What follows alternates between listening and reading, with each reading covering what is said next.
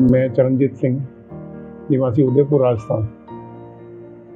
पेट पेट के अंदर छोटी आत्मा की ठान थी, ट्यूमर था छोटा।